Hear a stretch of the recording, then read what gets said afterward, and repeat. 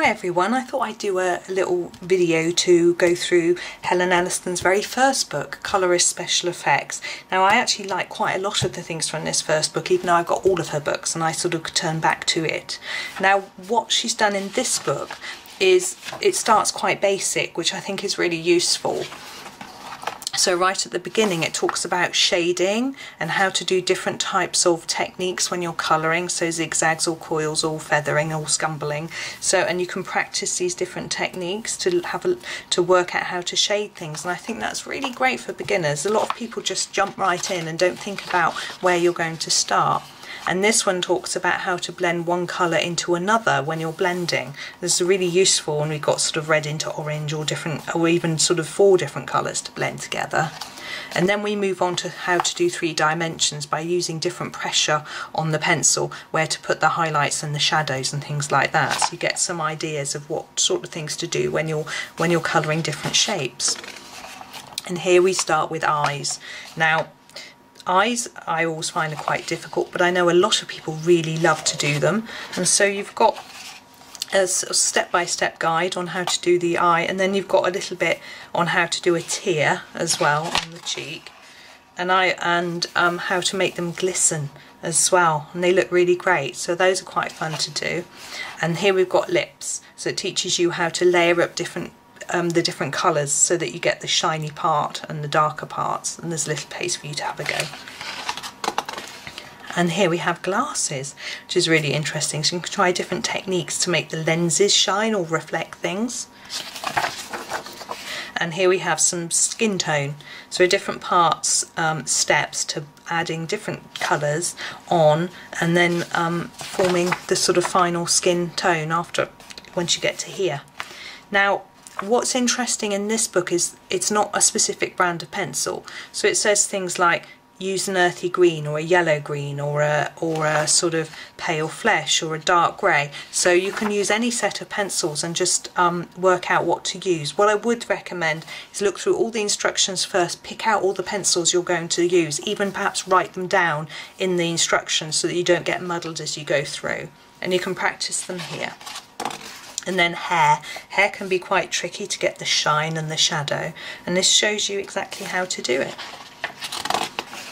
And then we have a blue hair, which is really interesting. Obviously you could use these instructions and just do any colour you like. It shows a, a, a different colour here. So you can just, just adapt it and then you can have a practice here. And then we have um, nature type things. So we've got some running um, water drops. I've used this one not for a running water drop but more for a for a shape like this and it was very effective. I was really pleased with it. And here we have bubbles. Bubbles is something that lots of people like to know how to do and these are different to the bubbles in some of her other books so uh, they're great fun. And we have a shimmery butterfly. I've tried this one too. He looks fantastic when you finish with him. And this red rose. I haven't tried this one out. It looks quite fun and a flower shows you how to do the middle of a flower as a gemstone or um, just as a, a, as a more realistic looking flower centre. I've actually tried this one with the gemstone. And then we have clouds. I've had a go at these clouds and actually I was really surprised at how well they came out considering how badly I think I draw clouds. So it was quite fun. And here we have a glossy mushroom. I've had a go at this one as well. He's quite fun. What have we got here? A soap bubble. So how to put a sort of shiny bubble over the top of what you're doing, or a floating soap bubble. And this one is mermaid scales, and I've had a good, I've had a go at these, and they're great fun. Um, it's just quite a lot of different colours all mixed together, and you get a lovely effect. And fur. Now fur is something that people find tricky, so it's great to have a page on fur to have a go at and some translucent fairy wings. It's a really good idea. You could use this maybe for dragonflies as well or things or bees or anything just to use the technique to sort of have them looking really sparkly but see-through. And you can practice on this page here. And then we have three-dimensional bows. These are particularly great for Christmas books and things like that. So you can have a go at working out exactly where to put the light and shade to get it looking really good and we have a wine glass so we start to learn how to do glass which is quite usually very tricky so this is a great one to do And balloons, I've used this one. I don't think I was doing a balloon, I just wanted something to look like a balloon. And it's really effective with the sort of light area here. And then we've got a dress. So how to do this little dress and you've got a picture that brings together all the things that you can practice on. Now this crown I have done and I've used this technique for lots of different sort of metallic things and it's really really good. I highly recommend this one, it's fantastic. You get great great looking results. And now a glowing candle, I've tried this one too and this was fun and it I was impressed with that. And we've got a practice area glowing lantern. I haven't tried this one. I think I used the candle um, one rather than the sort of lantern one, but I should have a go at that because it looks great. And chrome. Now, so you've got shiny chrome. I've used um, I've used this for something I can't remember what, but it looked really great. I particularly like this flower. It's fantastic. And these glass look teardrops, I use these a lot when I'm doing things like fish scales or um, something that I just want to look gem-like, I use this technique. It's really works really well. Everything looks really shiny and really good. But here we go on to the proper gems and I've used these a lot as well and they are very impressive. So you get a lovely gem which shining with little lines through. Looks fantastic. I've done this one and this one and I'd use this one a lot, the red one and I've even tried this. Now these glinting crystals, they're fantastic. You've got different shades of colour and different things. I really like those. I've used those a few times. And then there's the red ruby. Not sure if I've done that one, but I've done this um, this one where I had a black, um, I did a black gemstone and it looked really effective.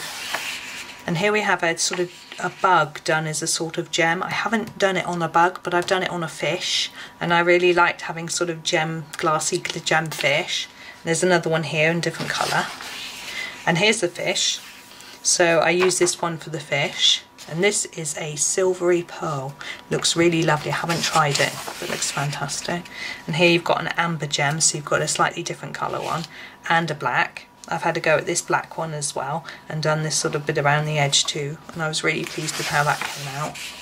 And the galactic looking gem, I haven't tried this one but it does look good.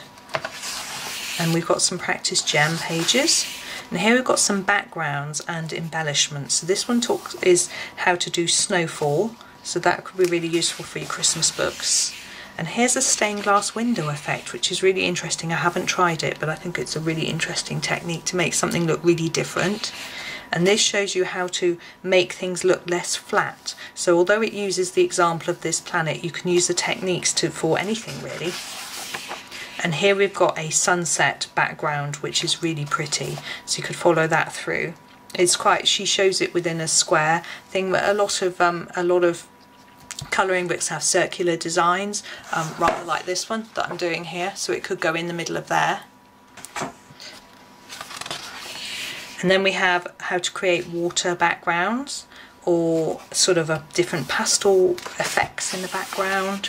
And here's a sort of more another water technique. And here is a sort of starry background, so that's great and a sort of bright galactic star in the background so that could be quite impressive. Again maybe Christmassy not sure depends what you're colouring.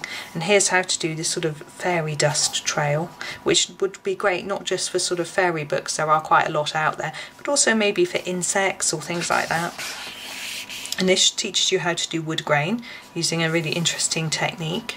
And this one teaches you how to do like paint drips coming out from the bottom of your picture which I think is quite fun and this one teaches you how to do rubbing so you get different effects behind what you're doing and then how to create a shadow underneath what you're um, you're doing and moon and stars background and how to do a marker pen background using some hand sanitizer. We've all got quite a lot of that around at the moment so we might want to have a go at that one. And fireworks. Now you might think they're easy, but uh, and actually when you look through the um, through the instructions, they're not too bad. But I think you want to follow it to get it right because these look quite 3D. And now you've got some practice pages. There's also a, um, a colour wheel here to give you some help with um, blending. And this is so that you can test some different colours on these particular pictures. And you've got some signature cards. So what these are is you put your name here, you colour in this thing, and then when you take a photograph of your artwork and you put it onto social media, you can put the card on it so that people don't um, try and steal it or copy it. And then there's a colour chart so you can swatch your pencils in the back and uh, have a look at all the colours. And there's lots of pages for those because a lot of us have lots and lots of pencils. I'm sure I'm not the only one that has multiple sets of different pencils. And I think that goes all the way through to the end. So there you go. Hopefully you found that interesting and you might want to uh, get hold of this book. As usual, I'll leave a link to it in the description so you can go and have a look at it for yourself. Thank you.